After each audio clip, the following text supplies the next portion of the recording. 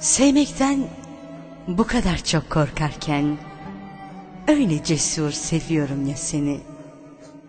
Hani bir ayrılık olursa, hani olursa dilinde başka söz, kulağında ses, yüzünde göz, koku, doku.